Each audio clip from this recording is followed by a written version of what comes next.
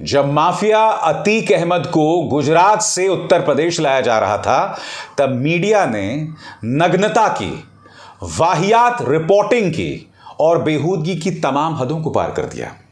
आज तक news channel ने जब माफिया अतीक अहमद पेशाब कर रहे थे, बाकायदा उस लम्हे को लेकर कवरेज किए दोस्तों। मज़ाक नहीं कर रहा हूँ, देखिए आपकी स्क्रीन पर। यह वो स्टिल तस्वीर है अब मैं आपको दिखाना चाहता हूँ वो लम्हा जब वो शर्मनाक हरकत इन्होंने की है, दोस्तों। मैं पहले ही आपसे माफ़ी मांगना चाहूँगा कि मैं आपको ये वीडियो दिखा रहा हूँ, मगर उसका मकसद ये है, आपको बतलाना कि जिस मीडिया को आप देखते हैं, उनकी क्या हालत हो गई है, क्या हरकतें हो रही हैं। देखिए। एक जगह पर, यहाँ पर, और अतीक को शायद यहाँ से दूसरी वैन की ओर ले जाया जा रहा है। यहाँ पे अतीक को शायद हम आपको बता दें कि थोड़ी देर के लिए ये वैन क्यों रुकी थी? उसके पीछे एक वजह है।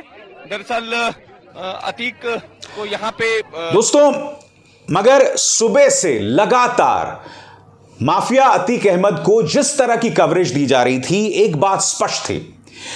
कि मीडिया को यह हिदायत दी गई है कि जिस तरह से संसद के अंदर काले कपड़े पहनकर सांसद प्रदर्शन कर रहे थे, उस प्रदर्शन पर माफिया अतीक अहमद की कवरेज का जो है पर्दा डालना है।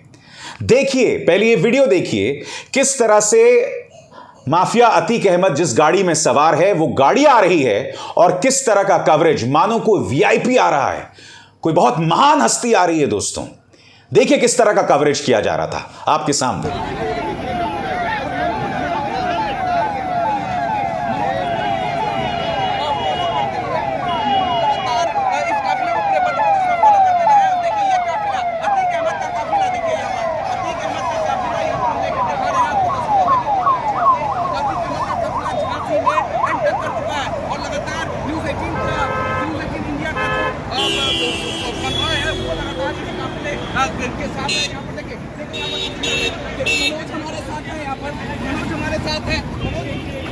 दोस्तों, मुद्दा साफ़ था।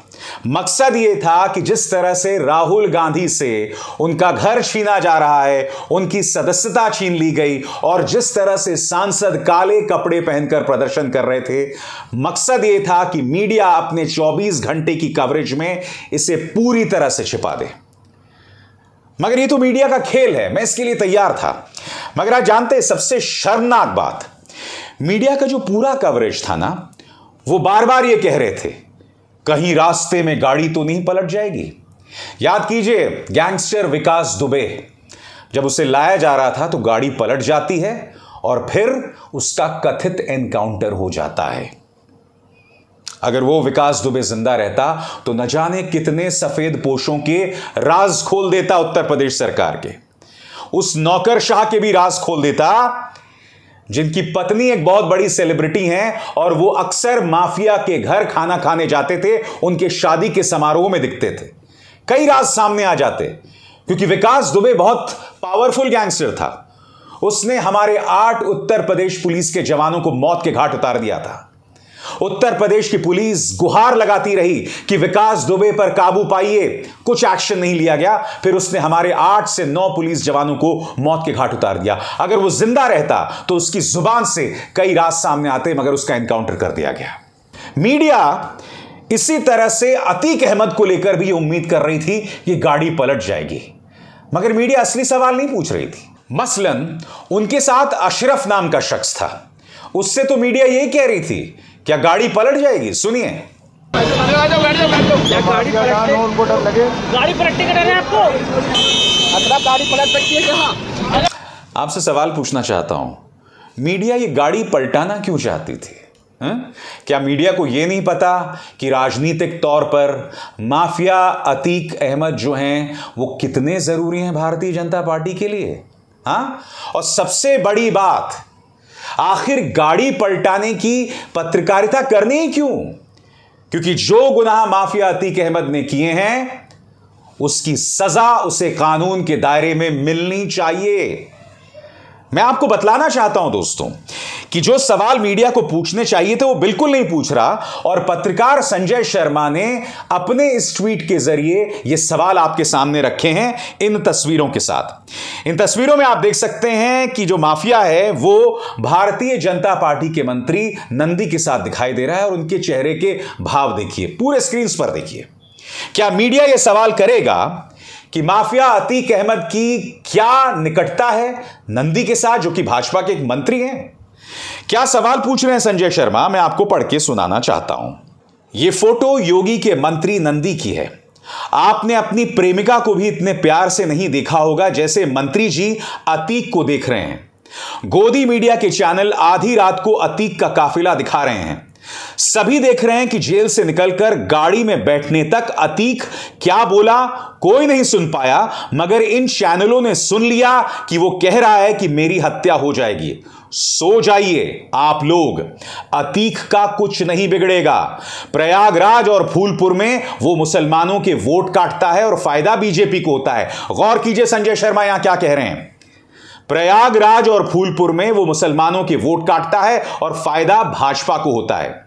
अतीक पुलिस से अभी भी तेवरों से बात कर रहा है और गोदी मीडिया कह रहा है कि वो काँप रहा है। किसी की हैसियत नहीं, वो दिखाए कि योगी के मंत्री नंदी का दोस्त है वो।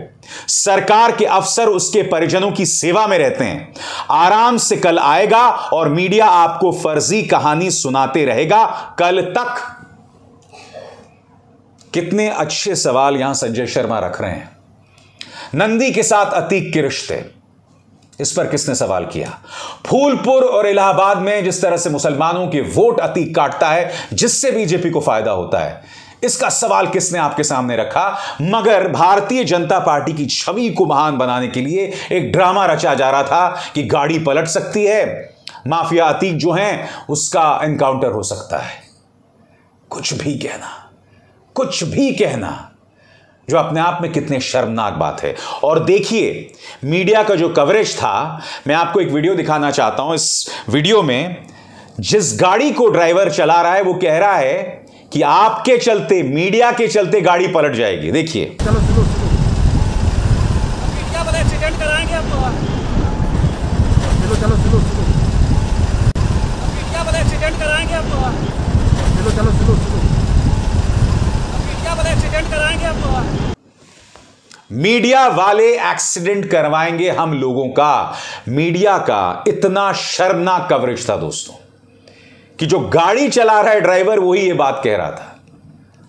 वाकई, आज पूरे इस कवरेज में, इस अतीक कवरेज में मीडिया का निहायत ही शर्मनाक चेहरा आया है।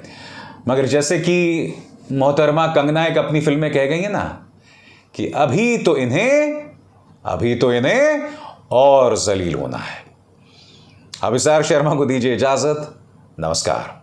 स्वतंत्र और आज़ाद पत्रकारिता का समर्थन कीजिए। सच में मेरा साथी बनिए बहुत आसान है दोस्तों। इस ज्वाइन बटन को दबाइए और आपके सामने आएँगे ये तीन विकल्प। इनमें से एक चुनिए और सच के इस सफ़र में मेरा साथी बनिए।